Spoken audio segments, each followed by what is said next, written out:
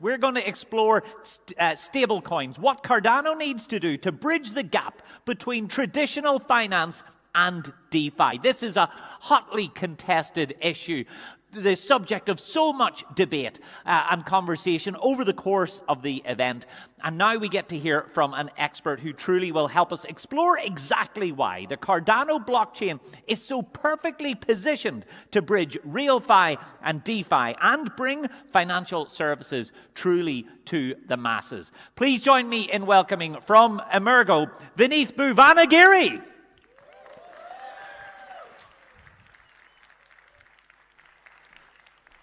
Hello, hello. Uh, hope you guys are having a fantastic time at the Cardano Summit. I know for sure that I'm definitely enjoying myself and the conversations that we've been having. So, today, I really want to get into um, fintech within the Cardano ecosystem and get into the nitty gritties in regards to what it takes to bring a stablecoin to this ecosystem. But before we get into the fun stuff, I'd like to take a couple minutes, provide you guys with a little bit of background and history as to what the journey was for us to be able to get over here. So, for the last nine years, I've kind of been spending straddling the gap between DeFi and TradFi, or RealFi and uh, the crypto ecosystem. And for the most part, this is what it's actually felt like, where you're precariously in between two distant worlds, very difficult to kind of connect from one side of the ecosystem to the other. And so, what we're looking to do over here is kind of bridge those two worlds together, have those two come together in a way in which we can then be able to move clearly and easily from one to the other.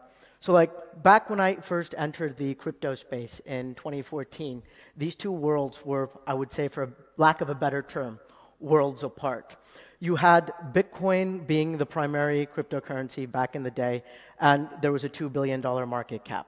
None of the exchanges were regulated, and the crypto world was, for the most part, the Wild West.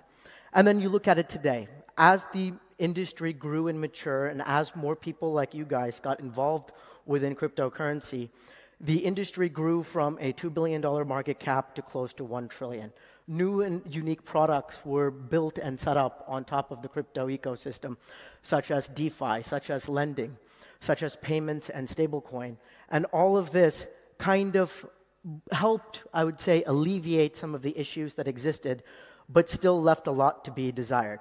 Even to, to, even to this day, if I ever want to go out and, let's say, purchase some caffeine from Starbucks, I still have to go and use my credit card or a normal form of payment for the most part. I swipe my credit card every month, and at the end of it, I'll convert my Bitcoin or cryptocurrency into dollars, run it through my bank account, and then have that be used to pay for uh, my goods and services. And this for us has been a little bit frustrating, where imagine a, a better world than this a world in which any anonymous or random crypto user quickly and easily can move between the unregulated world of crypto into the regulated world of traditional finance. And how do we get to that world? And what does it take for us to get there? And so, right now, the biggest issue that we've kind of seen, and a lot of feedback that we've received, is why is regulation necessary? Why do we need to bring regulation into crypto? And isn't it the antithesis for what crypto stands for? And I actually, back in the day, used to hold that belief where, like, crypto should be unregulated. Like, if it is able to be regulated, what's the point of even building anything on top of a blockchain? But again, as the industry matured, so too did my views on this subject, where if you have to move real world assets, or if you have to deal with anything that connects the DeFi world to the real world, regulation is actually necessary. Where if I'm holding, let's say, an asset that represents a real world asset, I want to make sure that that real world asset is 100% backed by whatever, sorry, that token is 100% backed by whatever real world asset it is that I am. Uh, that, that, that's supposed to be representing that token. I want to make sure that that token is a perfected interest in that underlying asset.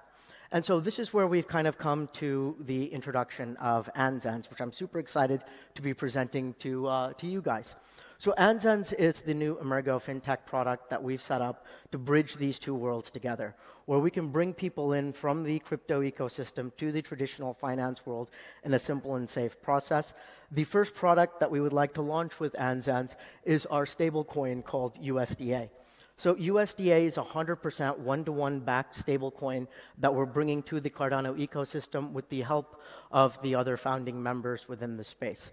Anzens is a technology infrastructure platform that we've created to basically sit on top of regulated financial services infrastructure to be able to tokenize the assets that are being held within the regulated custody of these financial institutions. So we've built a technology infrastructure stack that allows for traditional financial institutions to be able to tokenize any asset that they're able to custody in a regulated manner and be able to port that over to the DeFi ecosystem.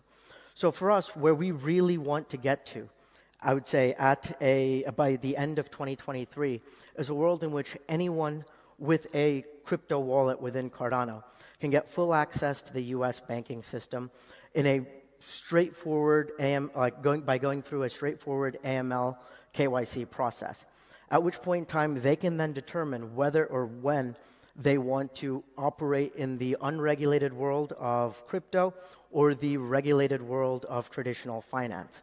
For me, one of the areas that I'm really excited to be, I guess, getting into with this is I want a future in the next upcoming year or so where anyone with a Yoroi wallet, an Eternl wallet, or any of the other wallets within the Cardano ecosystem can quickly move, let's say, a $10,000 worth of ADA from their anonymous wallet into a regulated account at Anzens, be able to take a loan out against that, and then be able to fund a prepaid credit or debit card that they can then use to make real world purchases using that asset.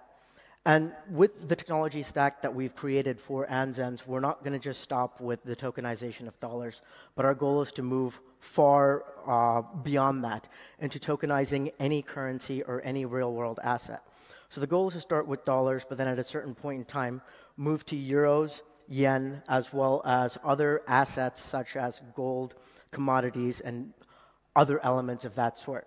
And so, for us to be able to offer this, uh, I, I say I'd like to run you guys through the process right now in regards to how exactly this process works, because I'm guessing you guys are all pretty excited to know or learn more about how um, we're able to tokenize dollars, how the infrastructure stack works, and everything else. So let me run you quickly through what everything looks like. So through the Anzens platform itself, any individual can run through that platform, go through a simple AML and KYC process, at which point in time they actually have a fully segregated account at a underlying financial institution within the United States, a regulated trust company, so to speak. At which point in time they can then fund their account using dollars, credit cards, debit cards, ACH, or wire, as well as a multitude of cryptocurrencies. They can fund their account, and with the press of a button, those funds within that account can then be transferred from um, US dollars or traditional fiat into USDA. At which point in time, that USDA is then issued back to the end wallet of whatever choosing the participant has.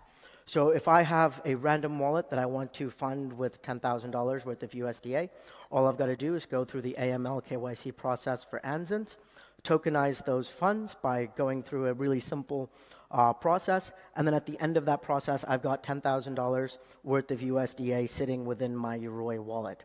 At which point in time, those $10,000 of tokenized USDA are native assets within the Cardano ecosystem. So those are fully free to exist within the uh, DeFi world or the Wild West crypto world of, um, of the Cardano ecosystem. So anyone can move those. We're not going to be able, we're not going to restrict, or we're not going to look to restrict those movements.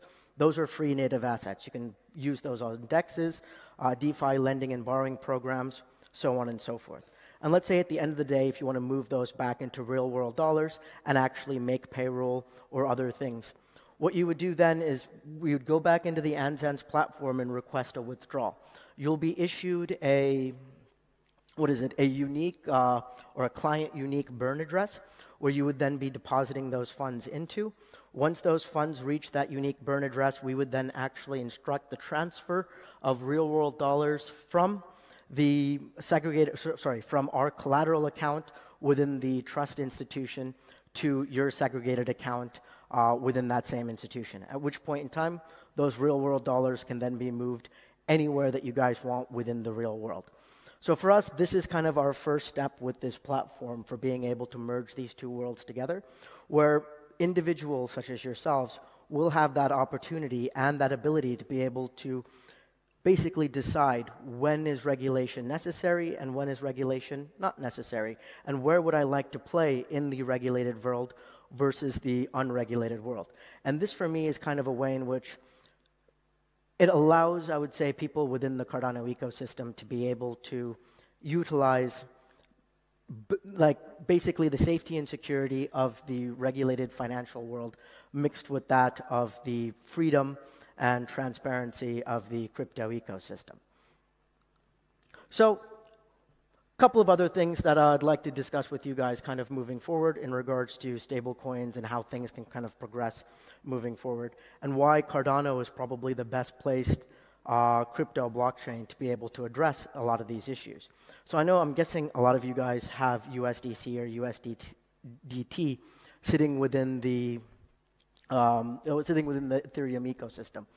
A lot of the issues that kind of stem from that are primarily due to the fact that Ethereum is a smart contracts based uh, uh, blockchain, where in order for me to move my USDT or USDC, it actually requires quite a bit of funds uh, from a gas perspective in order for me to be able to transact.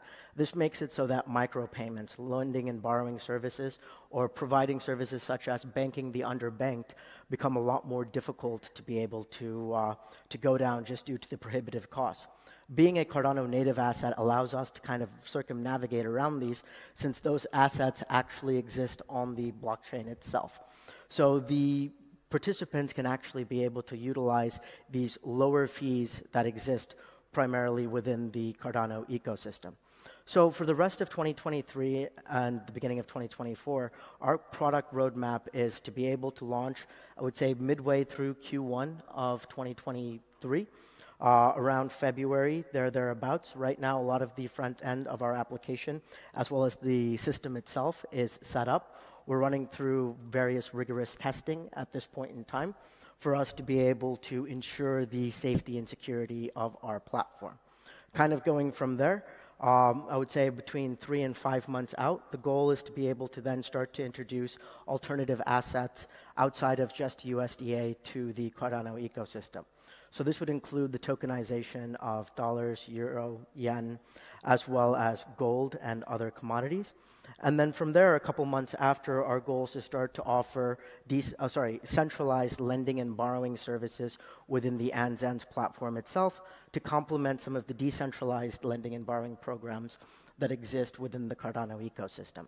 So again, for example, if I have $10,000 worth of ADA and I want to use that to be able to purchase real world goods and assets, I don't want to have to sell my ADA, and I would love to have a, a application on my, uh, on my wallet itself where I can quickly go, hey, I want to take these $10,000 worth of ADA, move it into the regulated world, take out a $5,000 loan against that, and then be able to use a prepaid credit or debit card directly through, let's say, my Yoroi wallet in order for me to be able to make real world purchases using the crypto that I have. And again, this allows for a much smoother way for me to be able to utilize the benefits of crypto, uh, as well as actually being able to bring those into my real world, day to day use cases. And so I would say we're very excited to be offering these services to you. And also moving forward, we'd like to spend a lot more time engaging better with the community and bringing you guys along with us on this journey moving forward.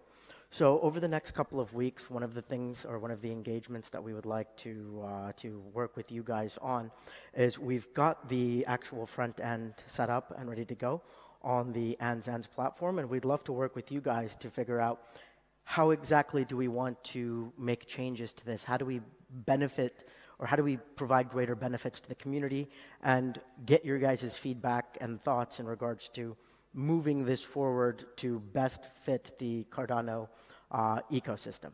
So with that kind of being said, um, and this also being a, uh, a relative bear market, one of the thought processes that I've kind of had throughout my time in crypto, uh, since when I originally got into the space, was there was the term hodl that was used quite extensively within uh, crypto. And I've actually never been that big of a fan of the term hodl, where I would have preferred the term huddle, where together as a community, we build together and we actually help bring things forward, where we build real world applications that actually utilize the technology of crypto as, to, as opposed to Ponzi economics that are sometimes um, detrimental, not sometimes detrimental, but more so sometimes prevalent within the, uh, the, the, crypto ecosystem.